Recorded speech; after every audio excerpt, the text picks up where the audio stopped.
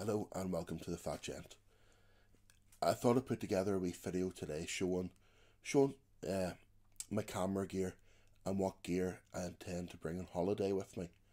Next week I head off for a month to Thailand and my intentions are to do fairly frequent videos while I'm away showing uh, showing the Fat Gents holiday in Thailand.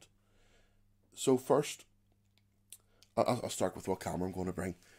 Now I've been back and forward and back and forward about cameras uh, by the way, no, no, get to this in a minute. Right, I've decided I was going to bring my wee Panasonic Lumix. I think it's a DMC TZ40. I've had this for a few years. There's nothing fancy about it. I just, I love the photographs it takes. Very handy. Nice compact size. It's a great wee camera. But I've sort of decided that the iPhones have come on that much now that I probably don't need to bring this. I'm probably okay with for a pocket camera. I think the iPhone will suffice. Uh, I use iPhone 6 and it's perfect, can't fault it. So camera wise, proper camera wise, I'm going to bring my Canon EOS 750D. Right, and I've been debating what lens to bring. There's going to be a lot of food photographs, I hope. So I thought, right, a macro lens would be quite good. So I've got this EFS 60mm macro lens. Yeah, take some absolute fantastic photographs, some good sort of uh, portrait photographs, and some great macros. But the problem is, if you're taking a macro of like a of food, you have to be quite far away to get the plate in. So it's really it's not suitable. So I'm not taking this lens. And I thought, well, just take the kit lens, eighteen to fifty-five mil. Nice and light, handy enough lens so I, I was happy enough settling this, and I'd done a wee bit of looking up on, on YouTube and a few videos, and I discovered this AFS 24 millimeter lens, and I'm fair, now I haven't tried this. This only arrived today. What I'll do, I'll put it on the Canon, and I'll take some photographs, uh, some close up photographs of some of uh, some of those samurai figures up there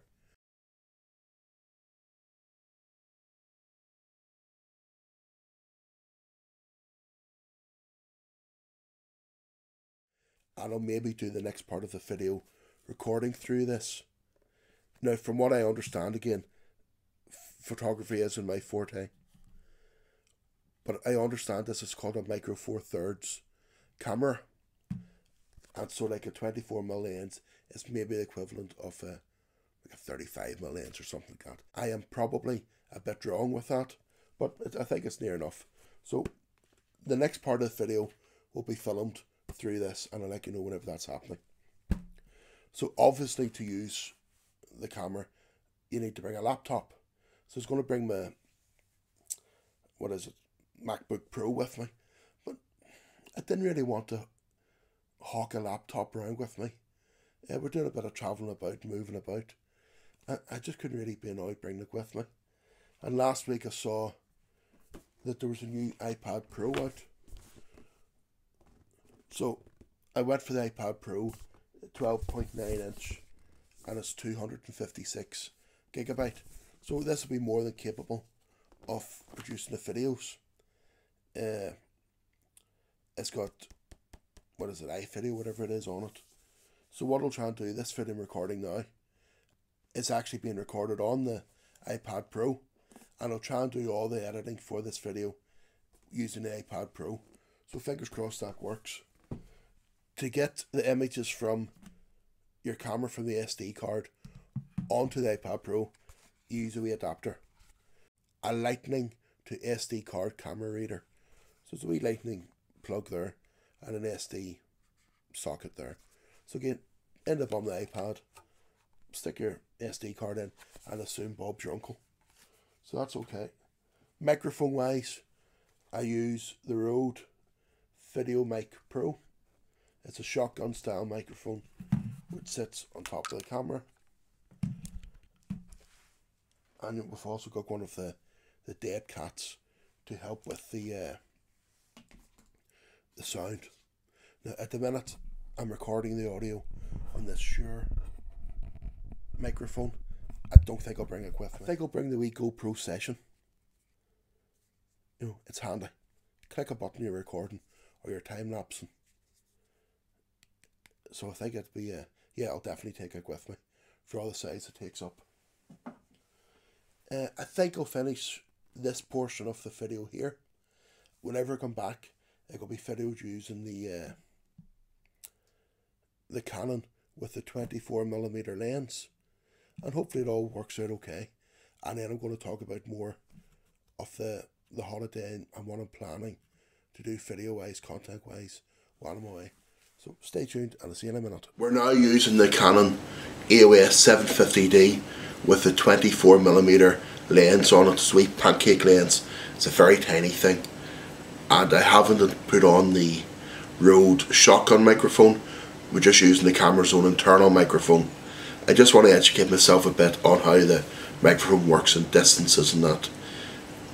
I haven't got any overhead lights on. Uh, and again I've got fish tank behind me.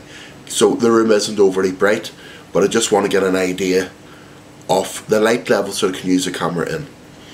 So Thailand, I'm going to do my own wee sort of series for for Thailand. Now I know if you Google it or YouTube it, there's a million videos about Thailand. 90% of them are sort of based around the bar scene. Mine won't be based around the bar scene. A lot of them are based around the budget. How cheap can you do it? You know, the backpacker scene. Or the expat living there or who has retired uh, to the country and it's basically most of the videos are how cheap can we done and, and the budgets and giving you options for low cost living which is fantastic if you actually are living there or if you are a backpacker and you're going you're traveling around for a year or two that's dead on but whenever you're going as a family yeah, we're away for a month so it's quite a long time but you know it's different priorities nice hotels are a priority all the food in general is good from the street food to the high-end restaurants. They're all good. But this is my, this is the fat gents take on Thailand. Now I've been going for quite a few years. I've got a good idea in my head what I want to do in the videos. Whether or not it pans out is another thing. But I've done all the tourist things. I've went to all the temples and climbed all the steps and battered myself around all the weekend markets. I've no intention of doing that while I'm away this time. I want to go relax and switch off with the family and hopefully their videos will reflect this. Again, if you want to see the touristy things, there's a bucket load on YouTube, other people, and there's some great ones out there. A common thing for the people in doing the travel vlogs is to walk around with the, the phone on a selfie stick or the camera on the stick videoing themselves while they're walking down the street, which is brilliant for setting the ambience. But walking down the street in Thailand, I'm a sweaty mess, right? Even in the hotel room half the time, I'm a sweaty mess. There's no way that I want to fit in myself walking down the street. So that's out of the question. There'll be none of that.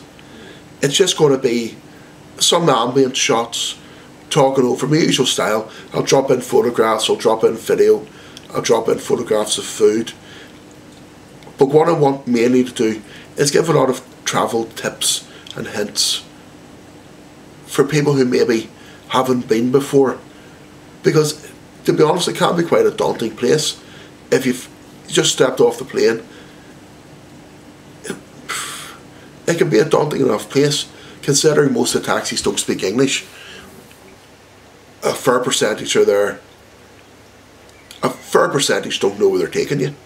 So you need to educate yourself as a holiday maker, as a tourist. You need to educate yourself a lot about where you're going because there's a good chance the taxis won't. But this will all be covered in the further videos. Uh, whenever I get there, I want to do like a wee introduction video. And I'll need some footage filmed on site in situ out there. So I'm really looking forward to putting them together. I don't know how many I'll make. If there's enough to make a video every few days, every two or three or four days, I'll do it. If not, it'll be one a week. But hopefully it'll be interesting. Hopefully it will give a bit of a new twist, or it'll give my perspective certainly uh, on what's out there. Look, I'm just going to hit a button here to see if it adjusts the focus. Right, I've just put the square on my face now. I don't know if that's going to help or not. But from what I'm seeing on the viewfinder, I really like the look of this lens. It's about one meter from my face, and it's given a good, it's given a good sort of segment. It's given a good backdrop.